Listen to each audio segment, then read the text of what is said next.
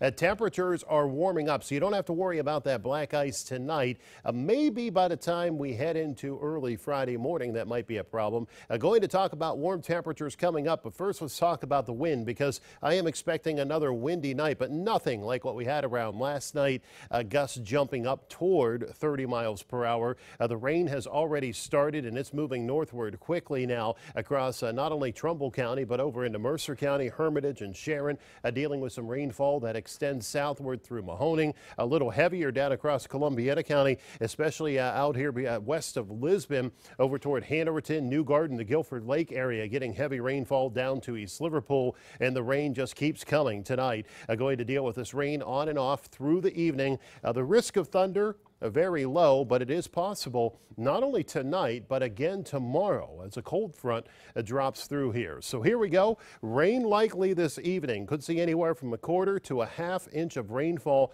possibly a little more. Some of that rain uh, sustains over your location. Uh, the risk of rain sticking around through the night. Temperatures keep climbing right into early tomorrow morning.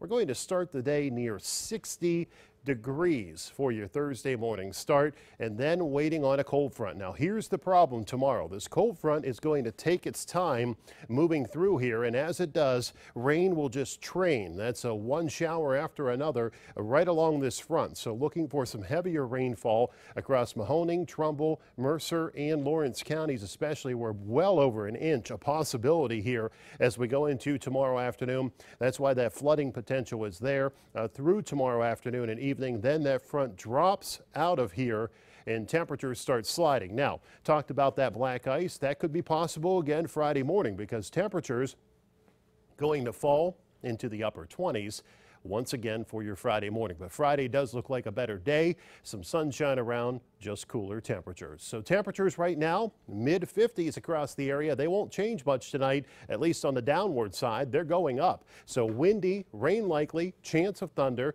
gusts up to 30 miles per hour. Tomorrow, a high approaching 60 degrees early and then starting its slide through the afternoon into the evening. Rain could be heavy at times tomorrow with some gusty wind around. Your next seven days showing you cooler temperatures on Friday. Looks dry after a cold start.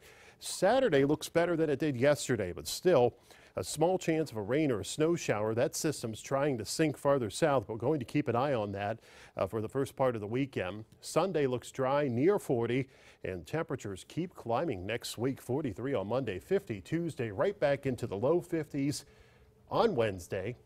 And that's going to be a wet period once again next week with those warmer temperatures. So we're into the coldest two weeks of the year on average.